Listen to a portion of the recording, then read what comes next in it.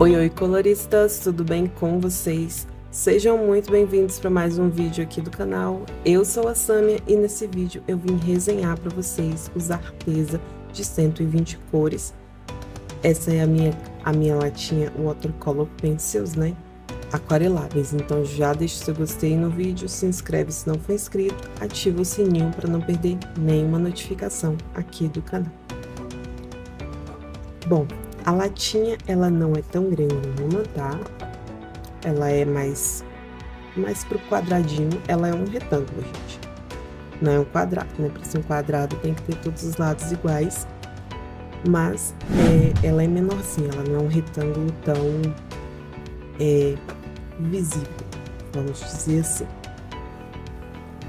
Bom, aqui, né, já aqui na, na parte de cima aqui da lata, né? A gente já tem algumas informações, né? 120 cores únicas, qualidade artística, a mina tem 4 milímetros, é resistente à quebra, é blendável, é solúvel em água e é ácido free, né? Não contém ácido. E aqui, né, aqui na na tampa da caixa, né, da lata. Eu tenho aqui as cores, tá? E as informações sobre a, o Light Fastness, né? O que, que é o Light Fastness? É, se refere ao clareamento, deixa eu ver aqui uma palavra melhor. É ao desaparecimento da cor, né? O quanto de tempo que essa cor demora para sumir, né? E aí aqui tem as opções, né? Sendo que quanto menos cruzinhas é o mais rápido essa cor vai se desgastar, né? Desgaste da cor, tá? E quanto mais cruzinhas, mais é, essa cor ela é durável.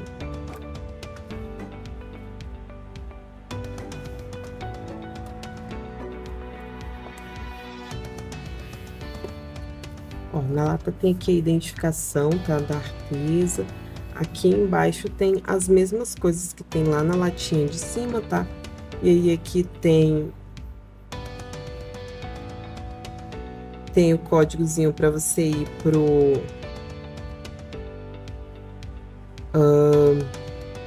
Aqui tá 25% na, na compra, né? O clube da artesa aqui helpful types, né? É, acho que é o, onde eles têm, devem ter algumas, sabe aquelas perguntas frequentes, né? Que tem em algum site, provavelmente deve ser isso, né? Perguntas frequentes, você vê lá para você tirar a dúvida, ver se a sua dúvida já está lá respondida. Tá bom? Aqui tem o site. E é isso, ó, design americano manufaturado em PRC. Eu não faço ideia do que seja isso. Eu vou dar uma procurada para informar aqui para vocês. Bom, eu fui em busca aí pela internet o que que significa esse Manufactured in PRC e PRC seria a é, República Popular da China, ou seja, o produto foi fabricado na China, tá bom? Assim como vários outros produtos que a gente compra, né? Que são, que são fabricados na China e só o design e tudo que é feito nos outros países. Deixa eu. Ah, gente, falar aqui. Não sai, tá?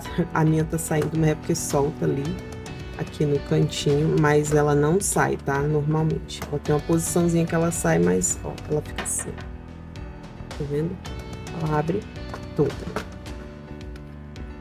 As bandejinhas, elas têm essa pegadinha aqui, tá? Eu, go Opa, eu gosto disso. Uh, se eu não me engano, foi no Darrent que eu critiquei, porque eles vêm só esse buraquinho que eu tinha que ficar puxando assim né? E é um pouquinho chato quando tem é, essa abinha aqui para eu segurar é muito melhor, né?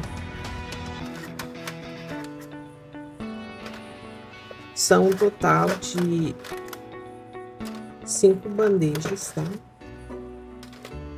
cinco bandejas, tem quatro, não, cinco, cinco lápis de cores que são é, metálicos, tá bom? Vocês sabem minha, minha opinião sobre os metálicos, porém essa caixa tem um, 120 cores, então ter cinco lápis de cores metálicos não, não vai me fazer desgostar da caixa. Então aqui, ó, eu tenho o corpo do lápis, né, que seria uma representação da cor. Daqui a pouquinho eu vou mostrar para vocês que tem nada a ver uma coisa com a outra, né? Vários e vários lápis, é, a cor do, do corpo não condiz com a cor que da mina, nem, tem uns que não chega nem perto, tá bom? E aí aqui, ó, tem o maisinho, tá bom? Indicando o Light Fastness, nesse caso aqui, é, o Light Fastness dele é baixo, né? Ou seja, rapidamente ele deve apagar, né? Ou pelo menos não deve ser rapidamente, né? Deve ser no tempo comum, né? Do, do lápis de cor comum, do lápis de cor escolar. Né? E aí eu tenho aqui, ó, Unicorn Purple é o nome da cor, tá bom? E A700 é o código dessa cor, tá bom? O corpo do lápis sextavado, aqui eu tenho a artesa, tem o pincelzinho, né, indicando aqui que é aquarelável e expert, né, que é essa linha de lápis de cor. E bem aqui, deixa eu pegar aqui um outro lápis fica mais visível. Ó, bem aqui, né, eu tenho essa linhazinha passando. Eu gosto muito de lápis de cor sextavado, gente, é o meu lápis de cor, meu modelo de lápis de cor favorito, tá bom? quanto. Uh, deixa eu pegar aqui a tabela de cores, que é pra gente. pra eu mostrar pra vocês algumas cores que não condizem, tá bom? Bom, tá aqui a paleta, tá bom? De cores. Eu tenho aqui vários amarelos, tenho. Eu gostei bastante da gama de vermelhos, tá bom? Não tem assim tantos. É, azuis, eu acho, numa caixa de 120, geralmente a gente ia ter aqui umas duas fileiras completinhas, tranquilamente, só de azuis. Não é o caso. Uh, eu senti falta de um tonzinho de um lilás aqui mais clarinho, né? Um tonzinho abaixo, né, desse aqui, um tom mais pastel. É, ele não tem. Um, os rosas eu achei que tá faltando cor nesses rosas. Essas duas cores aqui são bem parecidas, assim como essa e essa aqui também são bem parecidas. Ó, esse aqui, o, o Pink Maroon e o Peaches, a diferença, gente, é que esse daqui, o Peaches e o Cream, né? Eu não sei se vocês conseguem perceber bem pelo, é, pelo vídeo, mas esse aqui ele é mais aquele tom do rosa claro da Faber, né? Então ele é mais pro alaranjado do que pro vermelho. E esse aqui parece conter mais vermelho, mas são muito próximas a, as cores. Eu consigo ver que tem diferença, mas não é tão grande assim a diferença.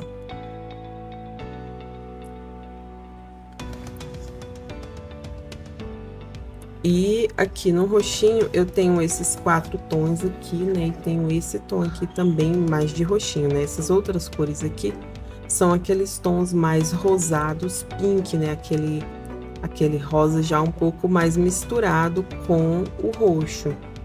Mas o roxo, roxinho mesmo, a gente tem só esses tons aqui. E esse aqui a gente pode encaixar aqui em algum canto. Eu gostei muito dessa cor, esse aqui é o Wine Red.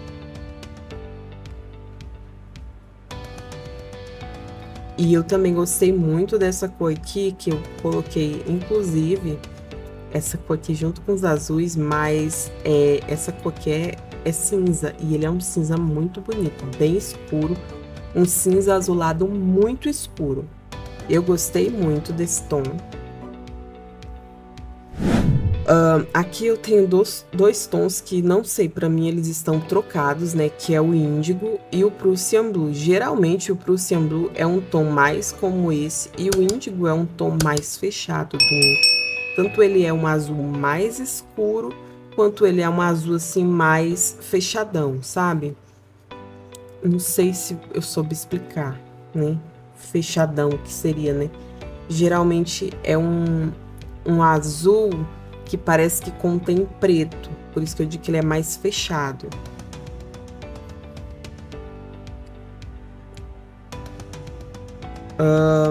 Eu gostei da gama de verdes, tá? Essa cor aqui, eu vou mostrar para vocês, né, algumas cores que, que deixam bem a desejar, né, na cor do, do corpo do lápis. Por que que eu tô falando isso, gente? É que quando o lápis chegou, ele tava todo misturado. Eu até devia ter gravado, né, para mostrar como que ele veio. Mas, a... ah não, eu gravei no short, tá? Vocês vão ver no short como que as cores vieram organizadas. E eu costumo organizar basicamente jogando os metálicos todos no final, na última bandeja, nos últimos espaços da bandeja. E aí, antes dos metálicos, também tem os neons, às vezes eu coloco, eu coloco aqui a ordem já não me importa muito, porque são lápis que eu não tenho muito uso. E aí eu venho com preto, os cinzas, os marrons, e isso de trás para frente, né, das últimas bandejas para as primeiras. Dos marrons eu venho para os verdes, né? Os verdes. Dos verdes para os azuis. Dos azuis para os roxos, dos roxos para os rosas, né? Dos rosas para os vermelhos, dos vermelhos para os laranjas, dos laranjas para o amarelo e do amarelo para o branco. Esses tons aqui eu costumo deixar eles aqui entre os rosas né? E os vermelhos, esses tons aqui, é, eu não costumo deixar aqui junto com o laranja não, porque é, meio que me dá um atrapalhozinho.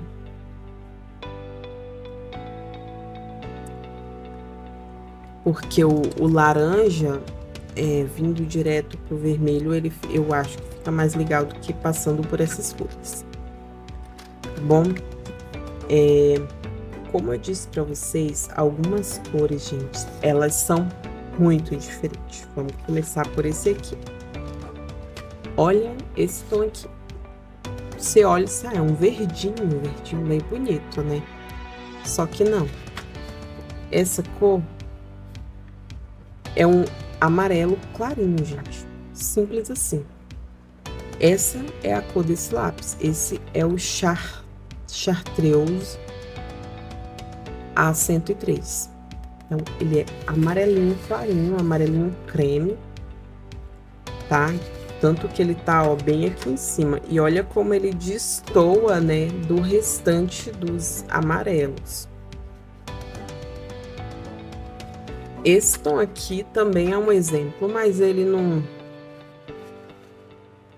Não, não descondiz tanto assim, ele só parece que ele é mais vivo e ele é um amarelinho bem clarinho, já com um pouquinho de laranja na, na cor dele, né? Já começando a, a partir para o laranja. Deixa eu ver aqui uma outra cor, mas tem outros, tá? Tem outras cores que, que também tem este pequeno probleminha, que é a cor do, do corpo não condiz é que eu vou lembrando assim na hora, né? Ó, esse daqui, por exemplo, né? Fog Gray. Deixa eu pegar ele aqui, tá aqui no verso. Olha essa cor que você olha e vê um, um cinza meio que quente, né? Na ponta você já vê que não é, que ele é diferente. E aí quando você compara com aqui, ele é um cinza frio. Ele não é um cinza mais quente, né? Ele é um cinza frio. Tem outras cores também, os cinzas claros, gente. Eles meio que parece que estão todos meio que trocados.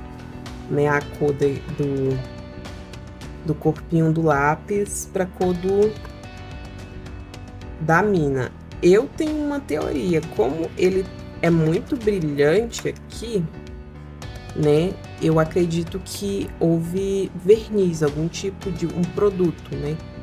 a tinta usada ou a tinta usada no lápis, é, ela oxidou e acabou deixando, mudando, né? É, dando diferença. Olha aqui, a cor aqui do corpo, né, do lápis, e a cor da mina que já diz tudo. Então, eu vou pegar aqui os meus apontadores, tá? Pra gente fazer aqui, testar, né?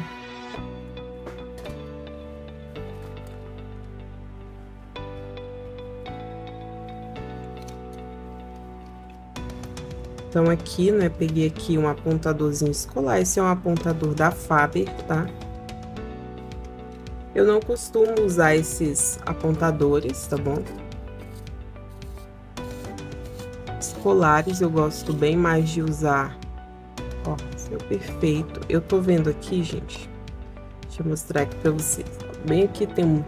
Ó, bem aqui assim, ó. Tá passando uma linhazinha, eu acho que isso é do apontador. Deve ter alguma coisa na lâmina dele, né, que tá fazendo essa arte aqui, ó. Esse risco. Depois eu vou ver o que que é, tá? Mas a ponta perfeita, o, o a madeira dele é muito boa. Muito boa mesmo, apontou super fácil aqui. Vou apontar aqui com o meu apontador de manivela.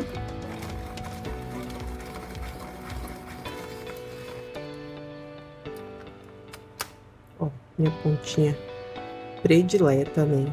É essa daqui.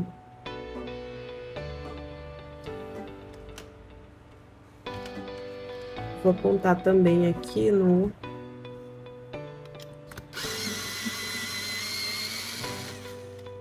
No apontador elétrico, ó, também, ó, perfeita a ponta, tá bom?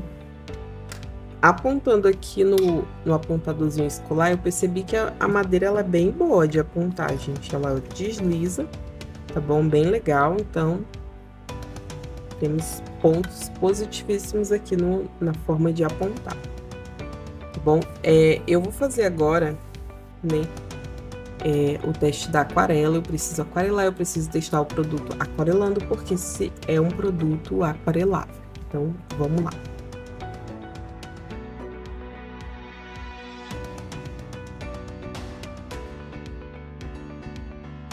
Bom, gente, eu vou começar aqui a tabelar o, o artesa, tá? E para tabelar ele aquarelando, eu vou utilizar o papel XL da Canson, tá bom? Ele tem 300 miligramas e esse é um mix media, então eu sempre tabelo usando é, esse papel quando eu preciso tabelar aquarelas.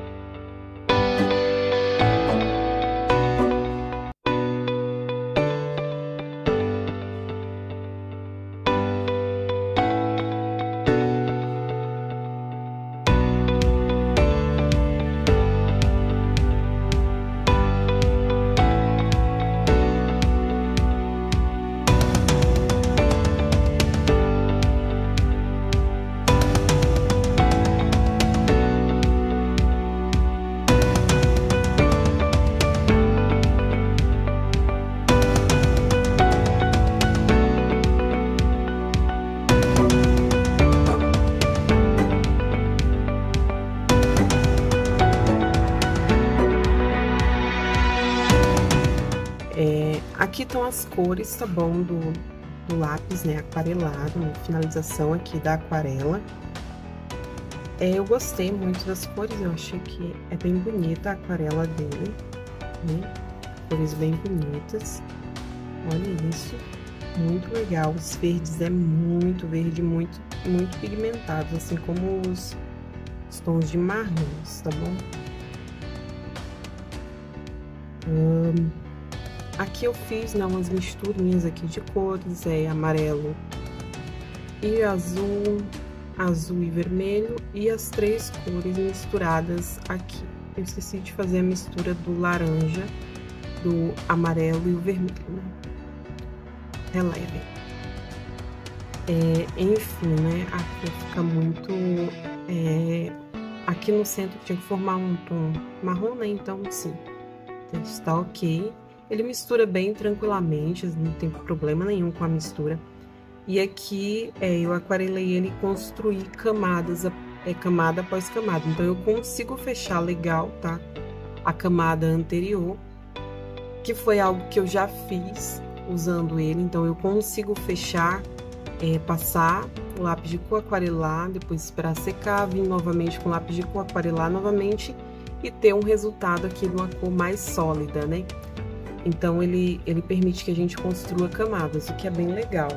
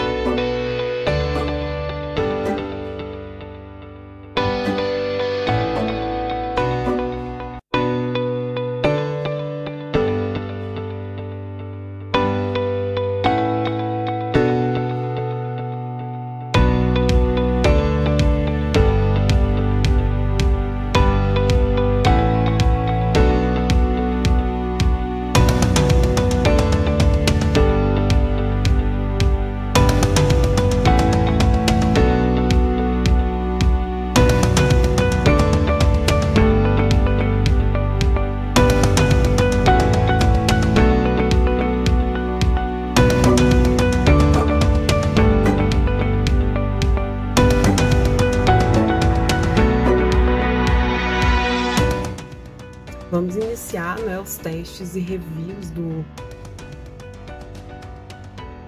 Vamos iniciar então aí né, os testes de mistura de cores do lápis de cor. Bom, é, finalizado aqui o teste, né? Tenho observações? Eu tenho algumas. A primeira delas é que aqui eu usei os blenders, tá? Nesse meio. Então aqui, assim, aqui, ó, ele, ele meio que deu uma, emba, uma embatumada, né? Formou gruminhos, tá? Aqui, nesse aqui, principalmente, acho que eu fiz bastante camadas, ou forcei muito as camadas, não tenho certeza. Com os brancos, né, de outras marcas aqui, ó, Poli, Prisma e Luminância. Ele foi super bem, né, esses brancos, eles são realmente, assim, se sobressaem a outros brancos, e eles foram super bem. Teste aqui do branco, arraste tá ótimo, é um lápis macio, é um lápis pigmentado e é aquarelável. Geralmente, todo lápis aquarelável tem um arraste muito bom. Uh, teste da borracha, ele apagou em alguns cantos, ele manchou bastante, tá? Mas é normal, é um lápis de cor aquarelável, então pode acontecer, né, dele, em vez de como ele é muito macio, em vez de ele apagar, ele acabar manchando. Tá? O teste da aquarela, por motivos óbvios, óbvios eu não fiz, né?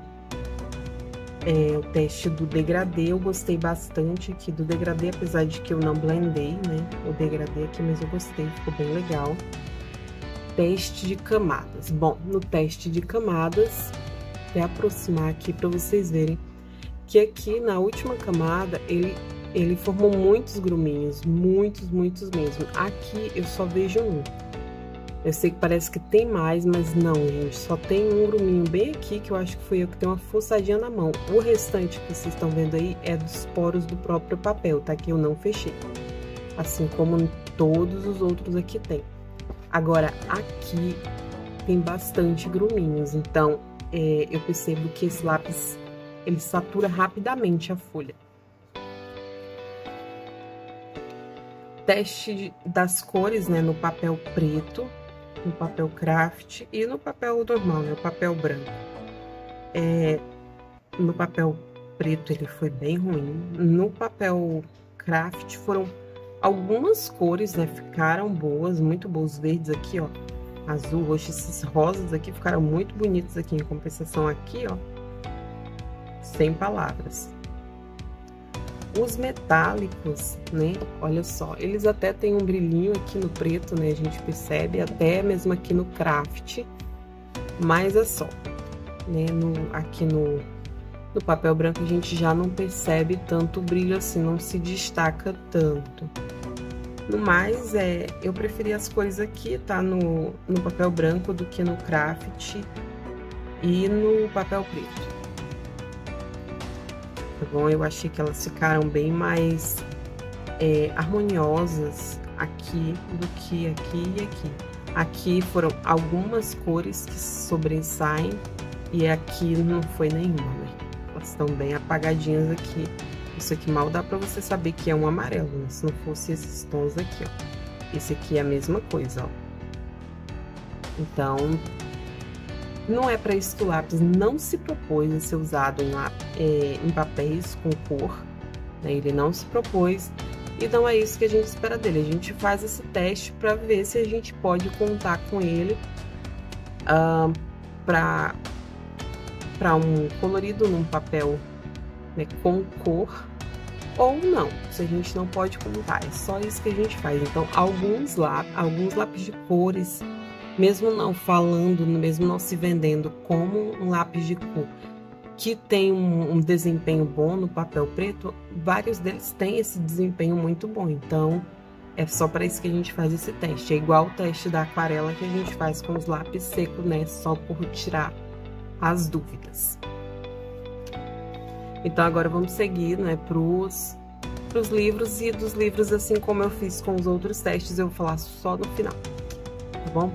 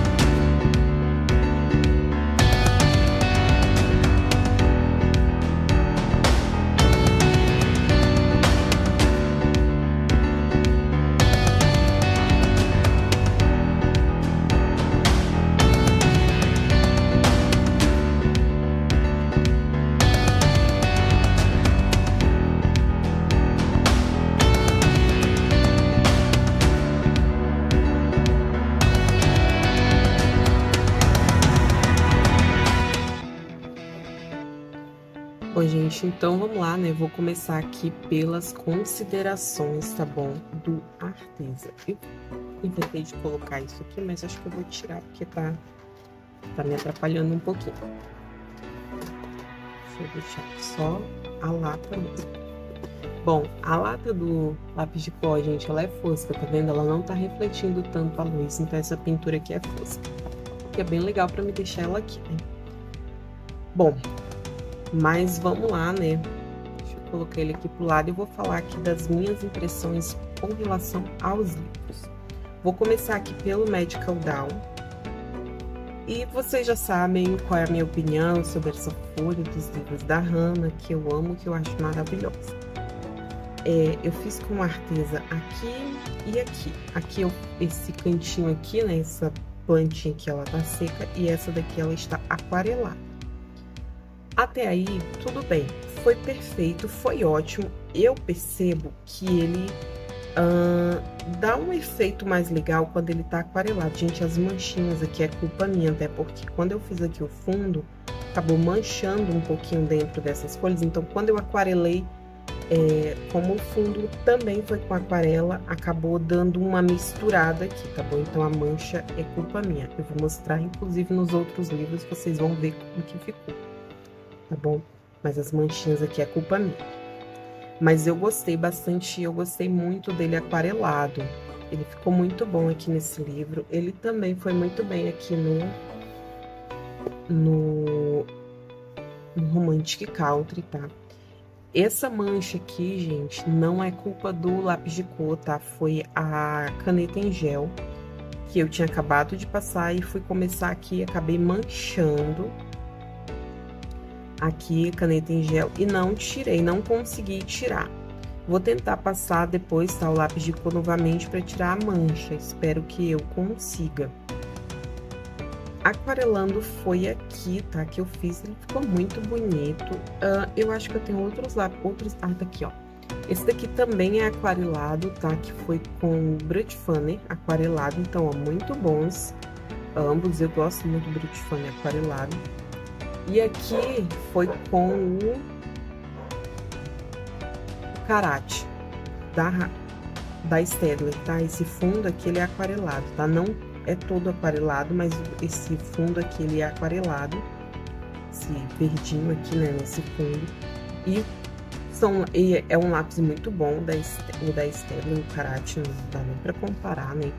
Mas ele ficou muito bom, eu gostei bastante tá bom? É, eu acho que vocês viram que eu usei o lápis de cor com a ponta um pouquinho molhada para me fazer chegar a esse tom aqui, tá bom? É, eu queria que esse tom ficasse bem escuro, então já iniciei colocando é, um pouquinho de água na ponta, tá bem, bem na pontinha, tá? Que você coloca para você fazer, deixar o tom mais próximo do que o lápis tem a te oferecer. Ou você pode vir construindo camadas, que construindo camadas você vai encontrar o mesmo é, efeito. Mas como eu não ia dar nenhum efeito especial aqui nessas letras, então só fazendo isso para deixar um tomzinho assim mais legal já foi o suficiente. Depois eu vim com o próprio lápis, é, cobrindo aqui essas linhas, né, do, dos nomes aqui, é, eu usei o próprio lápis, mas normalmente é, eu usaria um lápis de cor seco mesmo,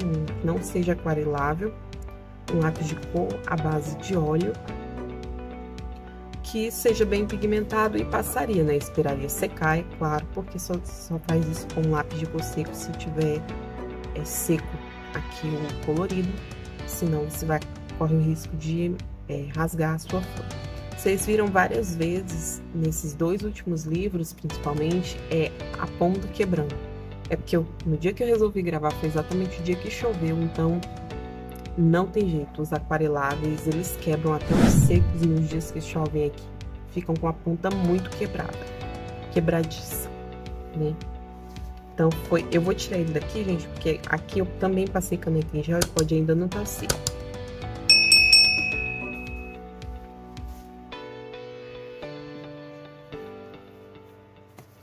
No Rhapsody, né, eu fiz aqui a minha página dos selos, que foram essa e essa, essas duas aqui. Esse daqui eu usei o lápis de cor seco, aqui eu usei ele aquarelável, eu amei. Nos dois, eu gostei muito, ficou bem legal. Eu preciso fazer uma observação, gente, para os tons de rosa do Arteza. Não são bons, eu não gostei dos tons de rosa. É, eles não pigmentam tão bem. Os outros tons tá tudo certo, tudo ok. Eu não percebi nada de diferente, mas os tons de rosa eles são bem ruins. Eu não gostei, não gostei mesmo. E aqui no Floresta Encantada, né, versão nacional da Johanna.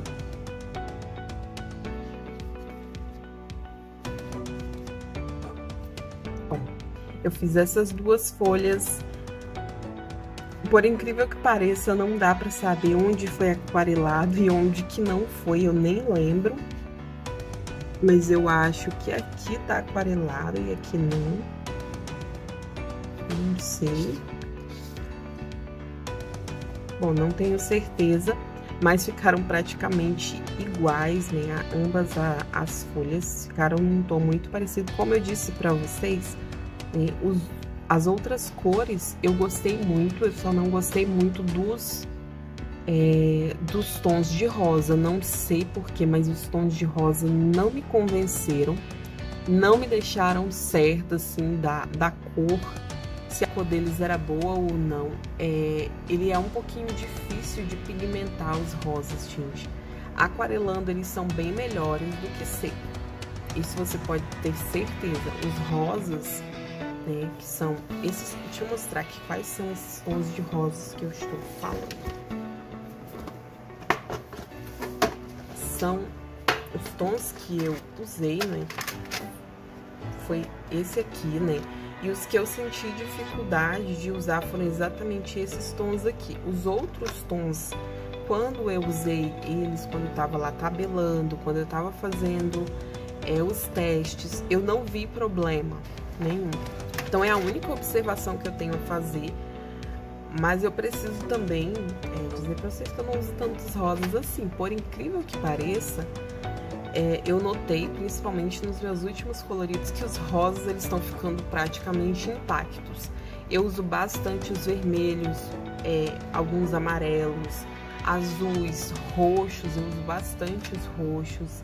Eu uso bastante marrons, verde, mas os rosas eles tem demorado mais. Não era muito comum isso nas minhas caixas, mas eu notei que eles têm demorado bem mais para acabar. E ele também tem poucas opções de rosas, tá bom? Enfim, tá bom, gente? É isso, tá? É, eu fiquei bastante curiosa para comprar o lápis de cor seco que não seja, né, que o artesa aquarelável. Eu vou comprar ainda, não sei quando. Provavelmente vai demorar um pouquinho, porque, como eu já falei pra vocês, eu tô pretendendo comprar o Inktense e o Light Fest. São lápis de cores aí bem caros. É, se surgir oportunidade, talvez eu compre, mas não sei. Talvez se for um desapego, eu compre, que a gente compra no desapego um pouco mais barato do que o que a gente compra...